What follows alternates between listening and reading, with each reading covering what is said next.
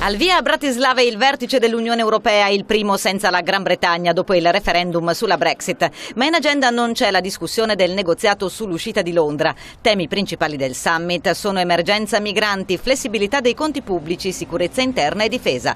L'Unione Europea è stata scossa da molte crisi e non possiamo fare finta di niente, bisogna reagire e ridare sicurezza ai cittadini, avverte il Presidente del Consiglio europeo Donald Tusk, che poi invita i leader a fare una diagnosi realistica sui motivi dell'abbandono del Regno Unito.